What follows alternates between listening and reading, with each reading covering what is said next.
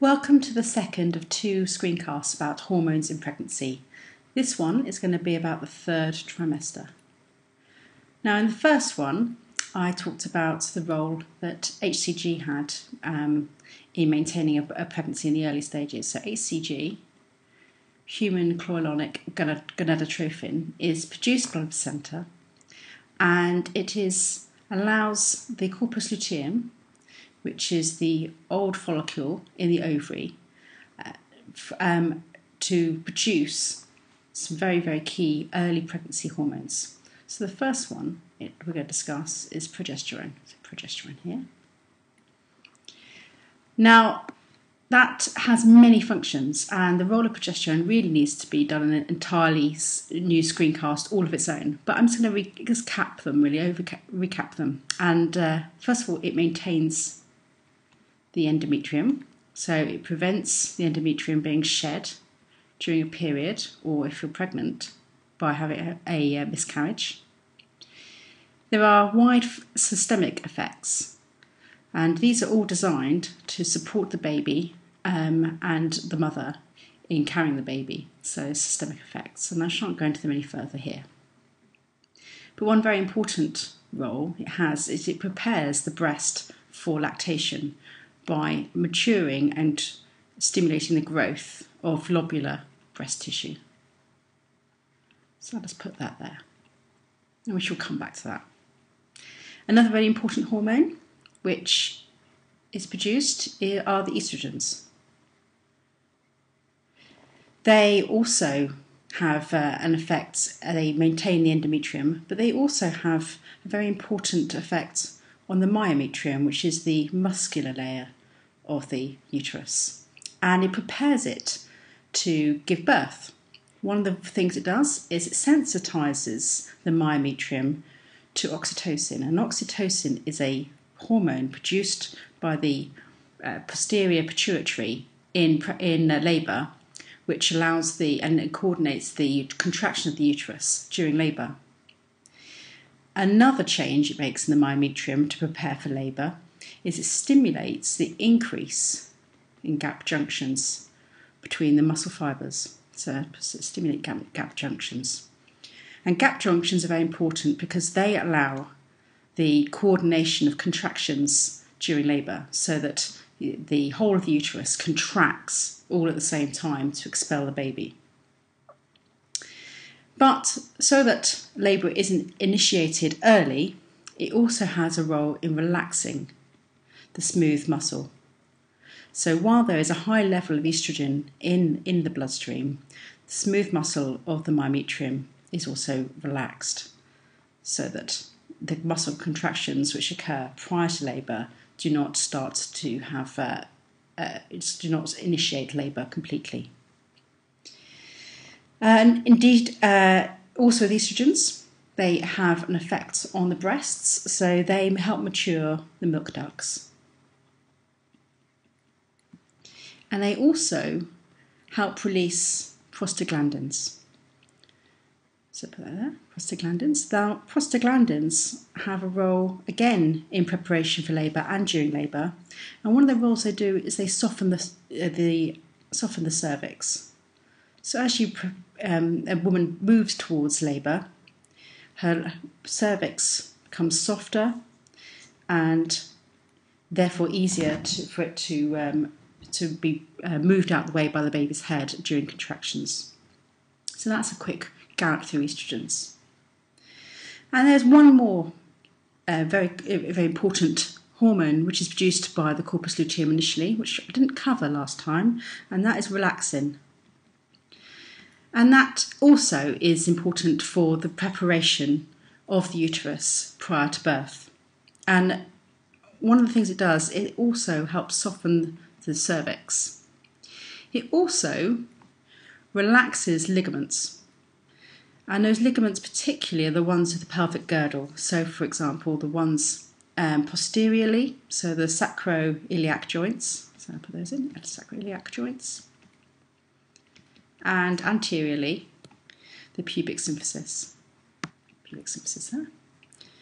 So that not only allows, obviously, an enlarging uterus to uh, to sit comfortably within the pelvis, but also the widening of the, the this um, aperture allows the baby to then be born through the pelvis. So again, very important. So we've got this is the early stages of pregnancy, um, but of course during the second and third trimester, the corpus luteum is allowed to degenerate because all these um, all these functions are taken over by the by the um, the placenta itself. So that whole that area just removed. So I'm going to rub that out because that doesn't no longer exists in the second and third trimester.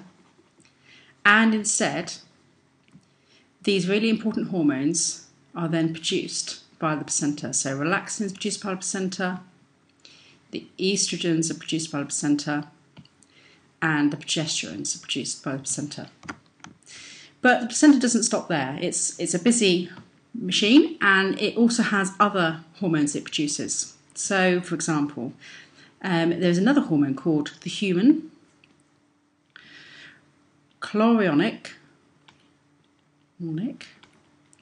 so somato mammo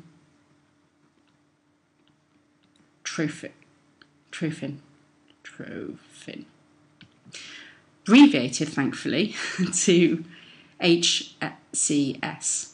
And there's a the second name for exactly the same hormone. It's also known as human placental lactogen.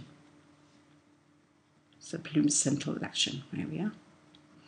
And those two names really give a clue as to what they do. Well, they are very much uh, involved in making sure that the fetus is nourished well in the it, it whilst it is uh, in the uterus, but also it's it's continues to be nourished once it uh, once you've given birth to the baby, because what it does is it promotes further development of the breasts. So it increases the effect of progesterone and estrogen on the breasts, so it prepares this area ready for birth but also it has some really important effects uh, to, on, on, the mother, which allows more nutrition to be available to the baby. So the first one is that it induces. That's not really readable. Let's rub that out. Try again. It induces a level of insulin resistance. So induces insulin resistance.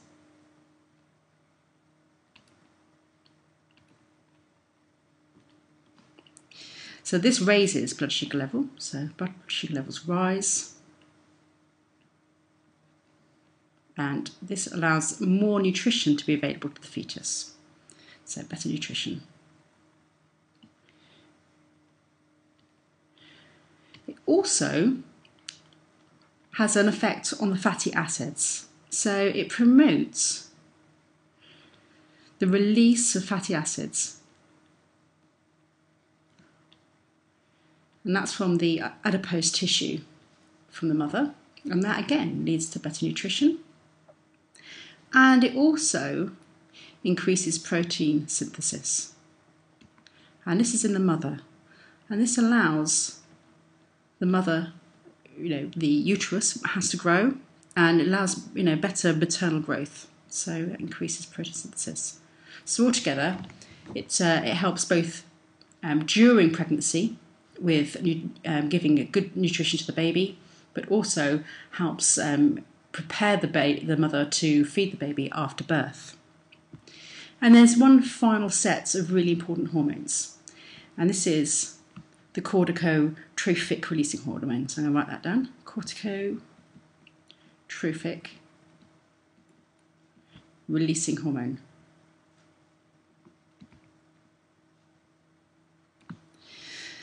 This is thought of really these days as a, the clock. So it appears to be that it is the, the um, this hormone being released into the bloodstream um, sets a timing for when birth is initiated. And interestingly, women who have particularly high levels of this hormone in their bloodstream tend to be at risk of preterm labour. So it's very important. Now, you would have, may have seen this hormone before. It's abbreviated CRH, and it is also released in the mother, uh, in fact, in, but in everybody, by the hypothal- hypothalamus. And it has a similar effect in the, in, in the fetus. So, this hormone basically causes the fetal uh, pituitary to release